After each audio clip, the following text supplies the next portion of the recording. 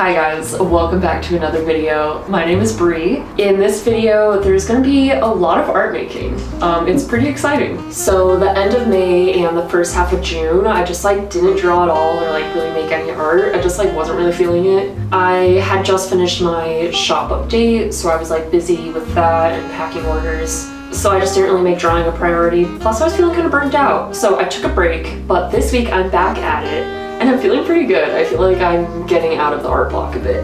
My kitty just joined me. Uh, hi. I don't think she wants to be held right now. Isn't she cute though? When I first adopted her in September, I could only hold her like this for like two seconds. So we're making good progress. Okay, there you go. I feel like I haven't talked to you guys in a while. Um, my last vlog was no talking. I didn't talk once. I didn't even like realize until I was editing it that I just like never talked to the camera. I think I was feeling kind of antisocial. So my last vlog, no talking. My video before that was my studio tour, which felt just very like informative and I don't know, I wasn't just like chatting, I was just like talking about all my objects. I'm trying this new thing where every morning I start my workday by like sketching or painting or just like making art right away in the morning. I feel like it's been really good for my mindset because I'm just like accomplishing a hard task right away at the beginning of the day. And I've been liking what I've been drawing, so it's been kind of just like boosting me up for the day. So that's exciting. So there's gonna be like a lot of sketching footage in this vlog and I'm also working on a new set of rugs. So in this video you see me stretch the fabric over the frame and trace the designs onto it using a projector. And then I use my tufting gun to actually make the rugs, which is my big task for today, which you'll see me work on. That's the plan. Let's get into it.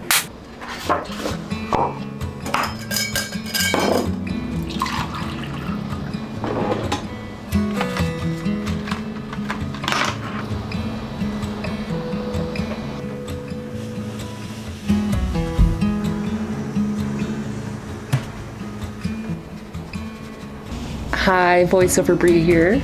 There's kind of a lot of drawing in this video, so I thought I would answer a couple questions in a voiceover. These are a few random questions that I've just gotten in my YouTube comments and from my last Q&A, so here we go. All right, first question from Christine.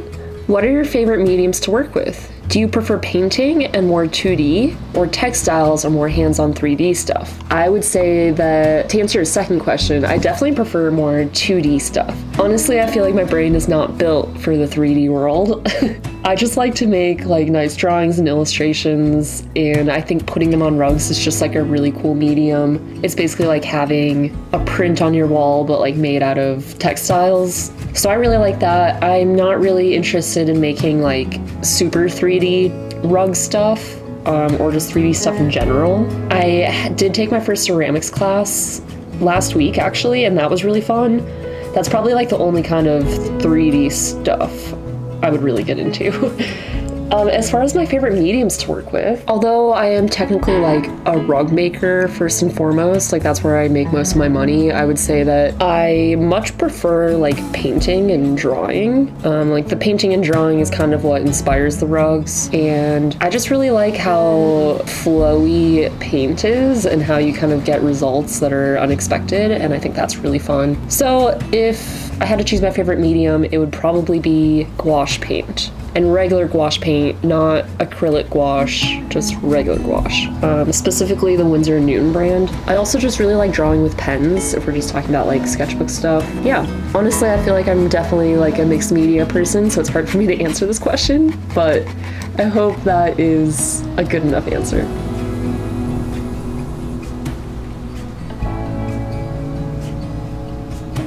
All right, I just finished this little painting just to kind of warm up. I think it's kind of cute. I really enjoy doing the cat painting in gouache that I turned into the print. So maybe I'll work with gouache again and try and do some sort of like animal or landscape thing. We'll see. I did make prints of that painting if you like it and you want one. They're just $6.50, so really affordable.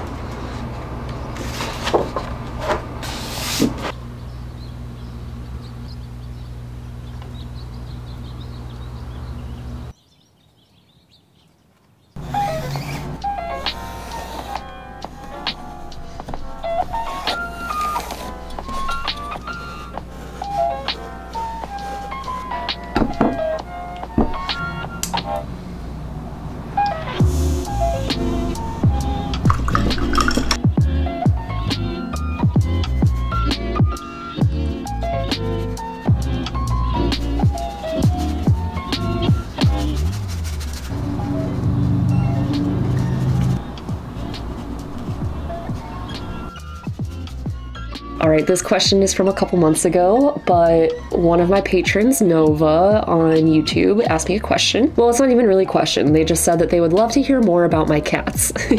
so I have two cats, Quincy and Edith. I've had Quincy since like 2017, since he was a little baby kitten. He's making that noise in the background right now. Hey, um, he is a Devon Rex breed, so he's like hypoallergenic. He is the most spunky, feisty little boy. He loves to play. He's like always dirty and kind of grimy. and he is a wild card. You never know if he's going to be like super sweet or like bitey. Um, but you know, it keeps things interesting. He really loves to be outside, but we just put him on like a harness and leash because he would just go if he was just like let out. One thing that you guys on YouTube probably don't know, I don't think I've talked about it at all, is that my partner and I lived in a van for two years and like traveled the country essentially.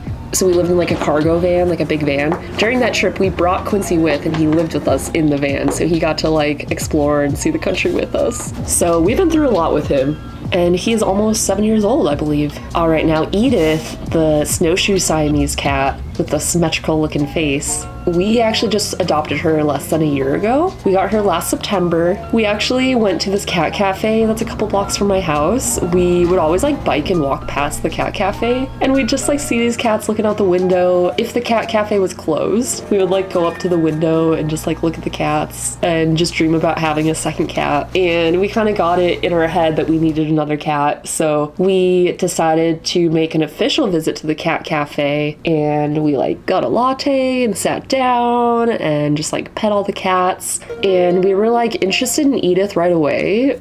First of all, she just, her markings are like so interesting and I had seen her like staring out the window days earlier. And we knew that she was part Siamese and that could be good for people who are allergic. So just tried to meet her and she seemed to really like us. She was kind of spunky. She puts Quincy in his place when she needs to, and I love that for her. I'm glad that she's able to do that. I'm actually filming this the morning after we had to bring Edith to the emergency vet because she had feline asthma. I thought that maybe she was just like coughing up a hairball, but she started getting like more and more coffee and she just like was not acting herself at all. So my boyfriend came home from work and we just like brought her straight to the vet.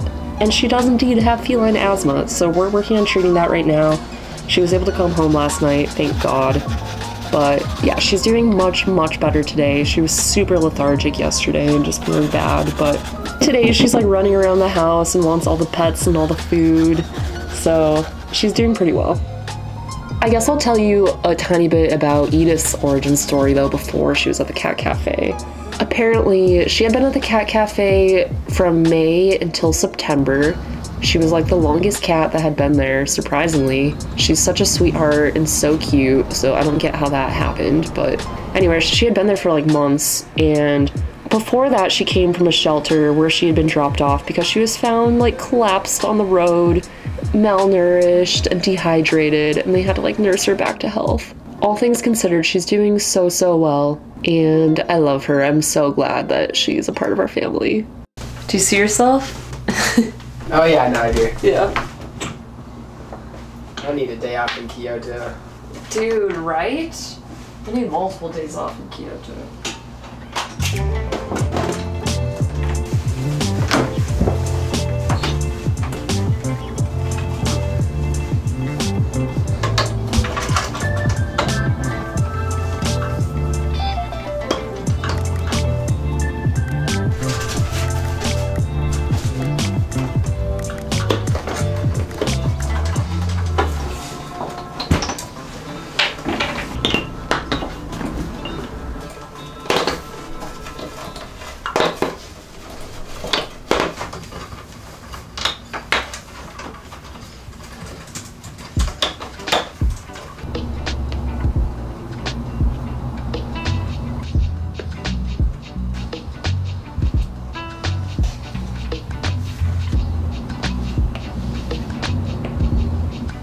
This is the little sketch I have for this frame. These two are gonna be freehand. That's why there's nothing in them. I just wanted to get them boxed in so I know the proportions.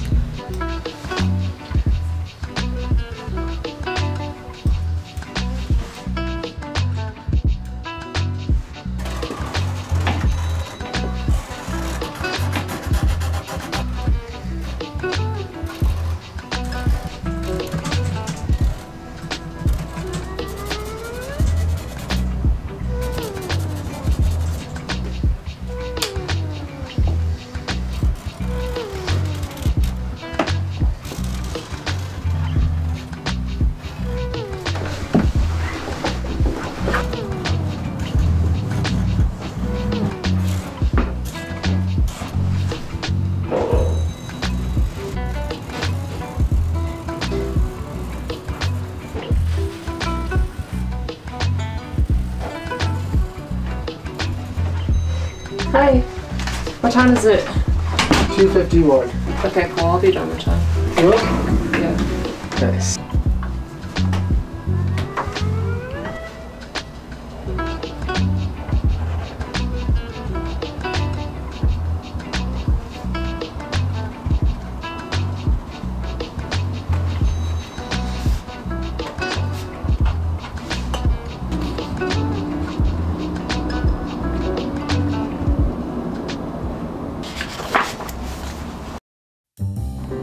Last question. This is probably all that we have time for.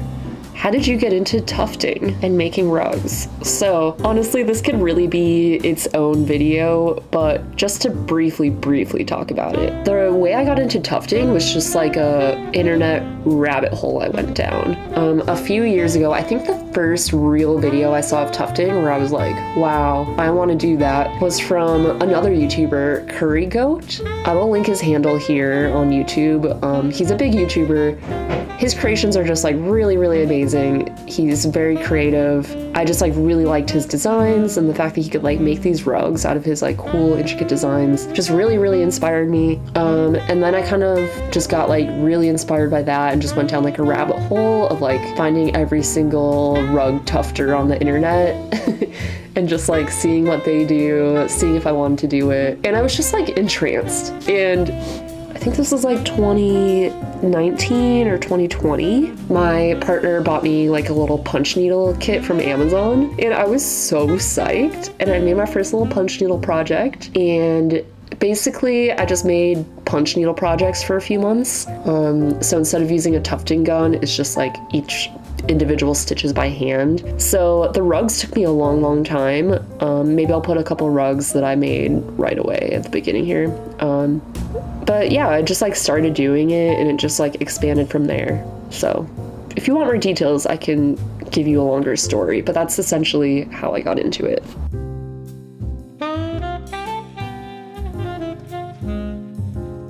All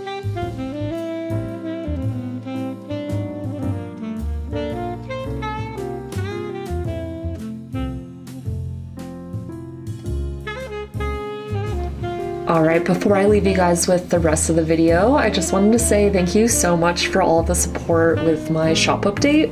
I made like 40 sales, which is really good for me. So thank you so much. That was like really, really nice. Um, I was very nervous beforehand, so it felt very validating. So once again, thank you. My shop is still currently open. Um, there's a bunch of stickers in it and some prints that are new that you should go check out. There's also a few rugs left if you're interested in that. But yeah, it'll be open for a little bit longer, so go check it out if you'd like.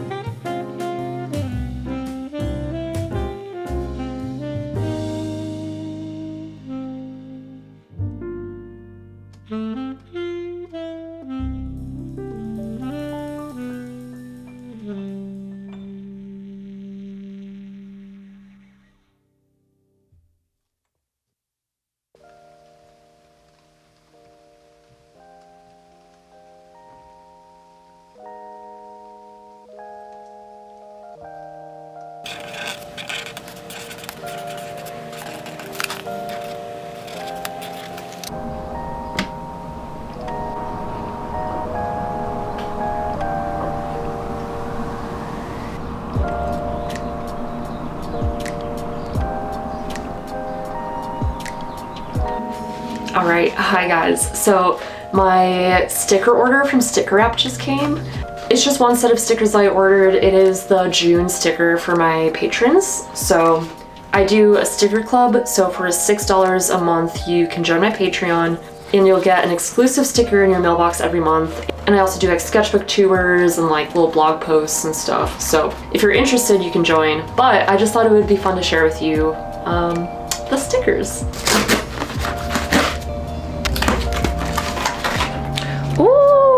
They're so cute. This is my sticker design. I'll take it out of the plastic. So this design is based off of something that I did in my sketchbook, which you'll see in this video. I think it turned out really cute. I quite like it. I think it's really nice. It's a sword with a heart of barbed wire around it. I'm pretty excited about these stickers, so I will probably package these up today or tomorrow to send to my patrons. It's June 21st, so I really need to send them out soon so that it's still the month of June. So if you want this cute little sword sticker with the barbed wire, you can join my Patreon until the end of the month. And also if you join after the end of the month, this will probably be in my shop if there's extras. Um, in my Patreon shop. So it's still exclusive to patrons, but in case you miss it, you'll still be able to get this design most likely. So I figured while I was opening up mail, I would also open up this sticker mail that I got from my friend Marin. So I'm gonna open it up. She has a art shop as well. You should go check it out. Look at the cute stamps and Snoopy. I love Snoopy. Cute, she wrote me a little note, but it's private, so you don't get to see it. Cute. These are the two stickers that I got. Okay, back to work. He normally doesn't get to sleep in the bed, but he crawled in this morning and I haven't had the heart to kick him out. It's like 2 p.m. now. Good boy.